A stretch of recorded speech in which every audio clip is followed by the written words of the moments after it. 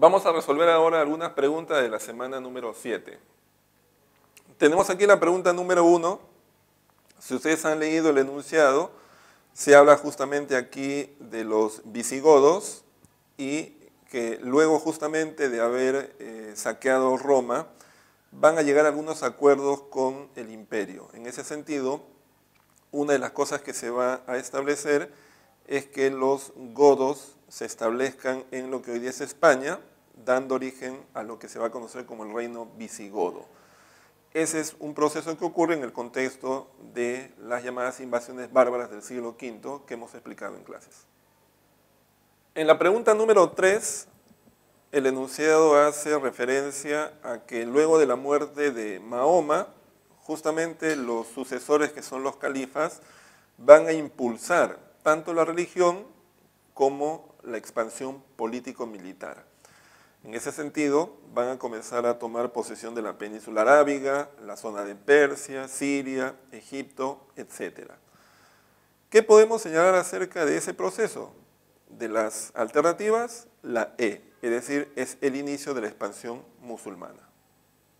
Esta es la pregunta número 5. Es una pregunta cuyo tema es el feudalismo y nos están preguntando cuál de las afirmaciones es verdadera, cuáles de las afirmaciones son falsas. La primera dice, en la organización feudal se pudo ser al mismo tiempo señor y feudal.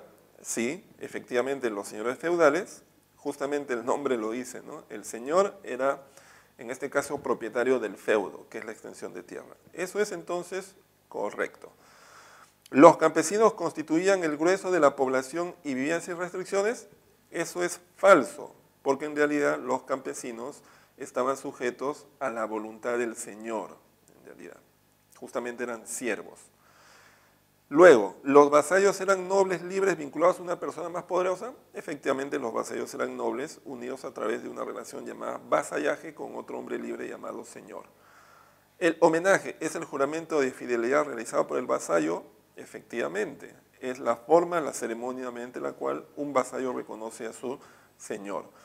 Por lo tanto, tenemos aquí verdadero, falso, verdadero, verdadero, con lo cual la respuesta es la letra D.